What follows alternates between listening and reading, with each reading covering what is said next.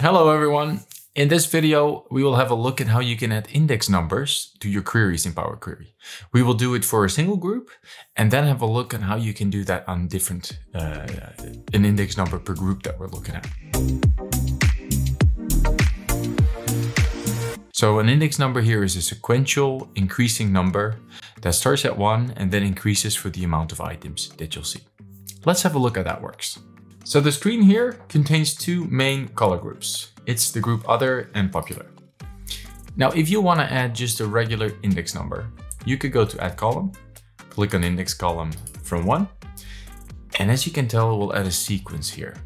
It will add a sequence that starts at one and then just raises till the amount of rows you have. Now, sometimes you might want this, this uh, sequence of numbers to be de dedicated to each of the groups you're at. Now, how can you do that? Let's, let's first look at an example that works with separate steps. So the code that we have here, let's use that as a template and you can copy paste it. And then this exact same code, we are going to use it in a column. So, but before we get there, let's see if we can group our data. So we have two unique groups, the group other and popular. And then if you go to the home tab and click on group by, then the color group is our main grouping and I would like the all rows operation to return everything that is grouped in a table. So there's now two groups left, other and popular, and the table object next to it contains all of the rows that were just grouped. And you can see that by clicking on it. So the first table here shows everything for other, and that second table includes everything for popular. Now we just saw how you can add an index number to our original table. That same code we can actually use to adjust the table that is just created in this tab here. And to do that, you can go to add columns, add a custom column. And since I copied the code, I can just paste it here and have a good look at what happens here. So when we look at our code, the first step right here says sorted rows. That is the reference to the table that it used to add the column to. So the other table was called sorted rows, and that's right here in the steps. And in our case, we don't have a previous step to reference, but we actually have a table that's in a column. So we can replace this code and then instead just reference the column name called details. And then we can just add table with index as a name. Now, after you press OK, you'll find that the original table first had like other, color, and sales amount. And the new table you find here has that index number for each of the table objects. So it's in the top one, but also in the bottom one here. So if you remove all the other columns, you can expand what we have here. And then you'll find that the numbers sequences increase like this.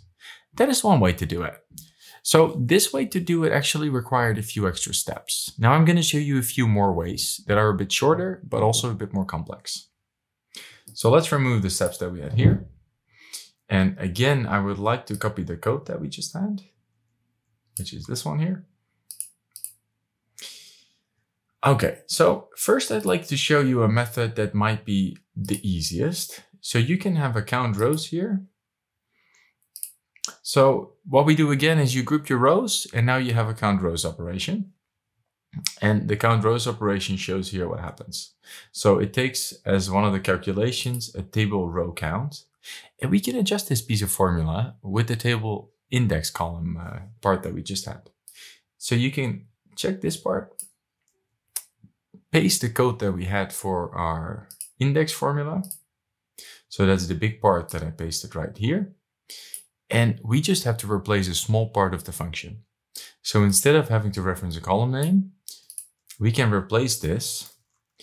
And what we are going to ask Power Query to do is to group our data and all the underlying rows that are underneath, to all those underlying rows to add an index column to it.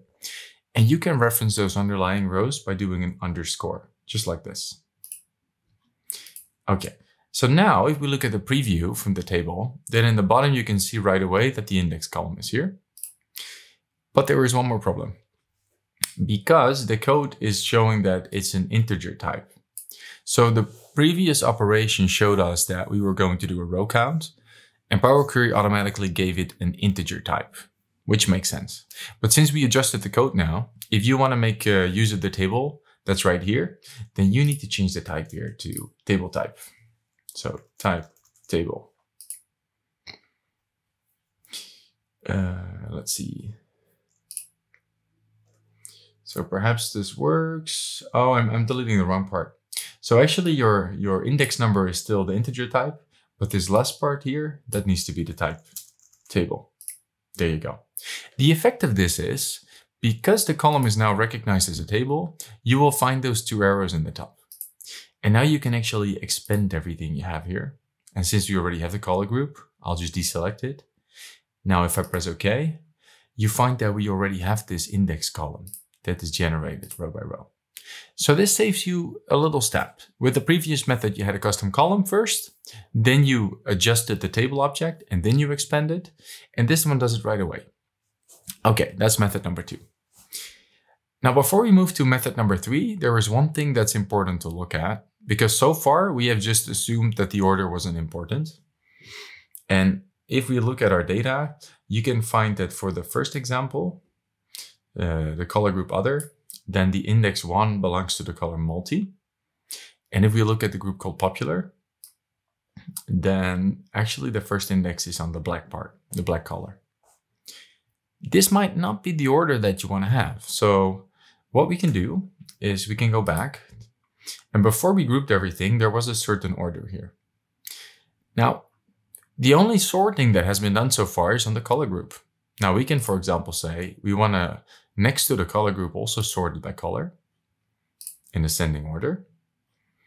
And then if we go to the part here, you can find that it's still the same. So the multicolor and the black color is index one. But if you go back here and you actually do it, the order for colors descending instead of ascending. Now, if you go back to this step, then all of a sudden you'll find that the first index is now white and the first index for the popular group is now yellow. So you can play around with this. It's most likely that you'll be working with things like order IDs or dates, where it's important to have things in a certain order. So make sure that that sorting is done correctly before you start the grouping and adding the index. Okay, so now for the finale, we still have another way in which we can expand things. And it's a little bit similar to what we did earlier, but I want to show it to you anyway. Okay, so let's say we have a starting position like this, and we are happy that everything is sorted like it. Now, we're going to start in the same way that we want to group everything by the first column. And what we're going to do different now is we're going to click the all rows operation and call this details. And this will group everything by color group and all of the group rows will now be in a table object. We've seen that before. So that's the part right there. Nothing new so far. Now, if you want to make your life even easier, um, we can even adjust things here because we are already grouping here on a table object and it's saying that it's grouping the details column by each underscore here. And instead of grouping it by each underscore, we can actually make sure that the, the code that we just had is pasted here. And let's see what's happening. Okay, we actually have an index. And now if you expand, there's something funny going on. So our table object here is actually showing us that the index column is created. But if you expand over here, you don't see it anymore. Now, why is that? Okay, so the code that we looked at, first of all, it tells us what to do as an operation. But after that, after the table is created, you can find that between these records here are actually the column names and the column types. So the benefit of this method is that actually the column types that you have will remain after grouping and expanding. The downside is, since we adjusted this, we have not included the index column that we wanted. So for us to be able to expand this column here, we actually need to add the index column here as well. So let's see how this works. So I could add a comma here and say that the index column is also a nullable number. And now if we leave it like that, we can expand with the color group we already had, and you can press OK as well. And with that, with the regular grouping operation, you can actually add your index number to each of the separate groups you've grouped by. And that should make your life a lot easier. Now, these three methods, just pick one that's uh, that's the one that you prefer. But this just shows a little bit how flexible M is, and I hope it shows you also a little bit more on the syntax and how you can adjust things. Now, I hope that was helpful. If you're new to the channel and want to see more of these kind of videos, make sure to subscribe and then I'll see you in the next, uh, next video. Ciao.